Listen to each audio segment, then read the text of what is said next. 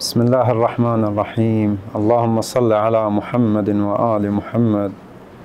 السلام على الحسين وعلى علي بن الحسين وعلى أولاد الحسين وعلى أصحاب الحسين. السلام عليك وعلى أخيك أبي الفضل العباس. السلام عليك وعلى أختك عقيلة الطالبين زينب الكبرى. من عام ستين للهجرة صارت قافلة العشق. قافلة الحسين.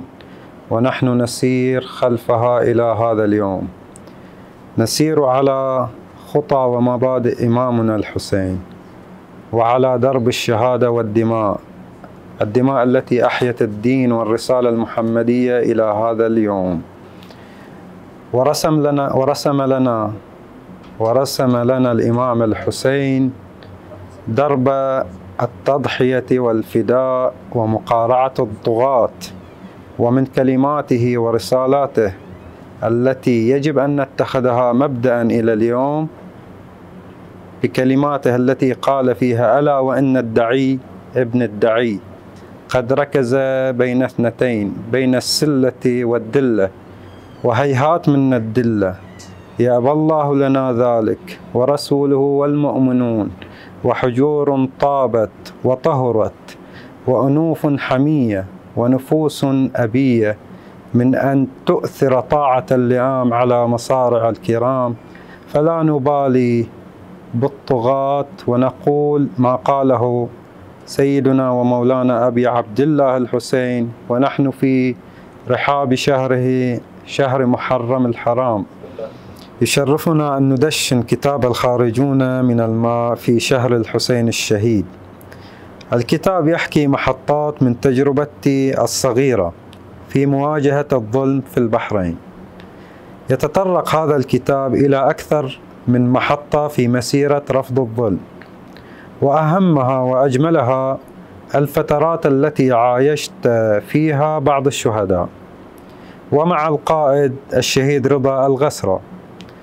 كلما عاش الإنسان في رحاب الشهداء كلما حافظ على نفسه وعلى دينه. لأن الشهداء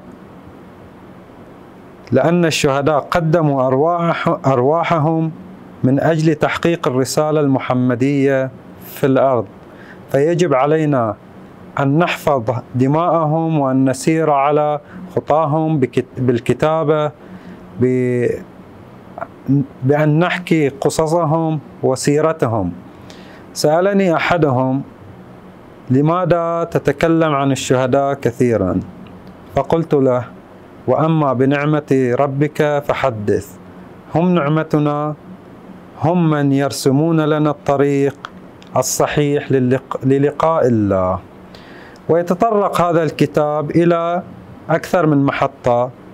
ويتطرق إلى تجربة الاعتقال والتعذيب وكيفية دناء وكيفية الدناءة التي في نفوس المعذبين المعذبين.